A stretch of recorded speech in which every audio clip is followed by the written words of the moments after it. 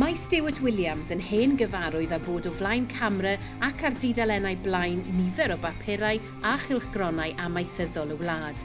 Saith ar hugain oed yw Stewart ac mae'n byw ar ffarm laeth y teulu ger pentre Camrose yn Sir Benfro, ble maen nhw'n godro 200 o wartheg.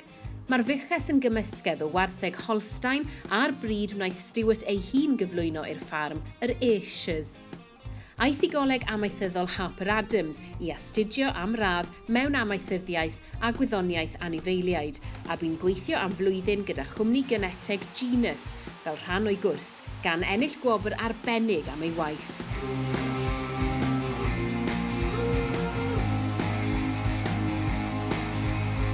Yes, you can gain life skills from doing anything at home, um, meeting local people, but if you actually go further afield, you can get more of a variety of people um, in different industries and also um, see different things working on other farms um, and then hopefully if you'd like them bring them home and get them to work on your farm.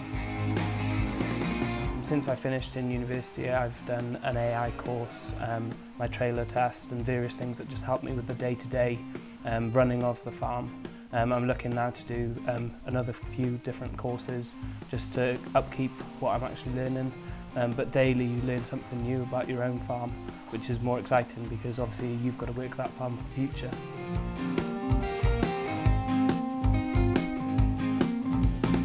Cyngor Stewart i unrhyw un sy'n a diddordeb mewn ffarmio neu yn y diwydiant bwyd yn gyffredinol yw i ddal ati a gweithio'n galed er mwyn cyrraedd y nod. The reason why I get up in the morning is I love cows. For me, cows aren't just a machine cows have personalities, cows are individuals, um, and that's really why I love working with them. Mae Stewart a'r teulu wedi cael tipyn o lwyddiant mewn sioeau amaethyddol hefyd, gan ennill y brif pencampwriaeth yng Nghystadleuaeth y Gwartheg Godro yn sioi Frenhinol Cymru yn 2012. Yna daeth teitl Prif Brydwyr a Dangoswyr Gwartheg Eisia ym Mhrydain yn 2013. Personally, um, the shows, for me really, it's, it's not a holiday at all. Showing's hard work. Um, it's a change of scenery. Um, you get to meet people, like-minded people that are also showing, and also just general public. That you know, you get so many people coming round shows, and they don't know where milk comes from. They think that strawberry milkshake comes from red cows and white, white milk comes from black and white cows. Well, it's the education side of it that I really like, just you know, explaining to people exactly what dairy farming is.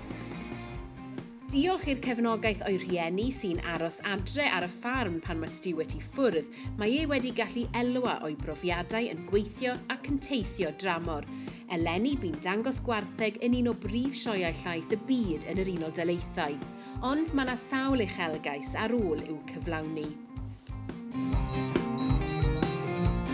My ambition is to win um, the Supreme in the Royal Welsh with the Hope Red Cow and for Um, us as a business, um, the dairy industry is very volatile, but if we can get that little bit of income from somewhere else, and if it's through working with the cows and the pedigrees of the cows, then that's definitely something I want to do for the future. If you don't have that passion, you wouldn't get up in the morning to do it.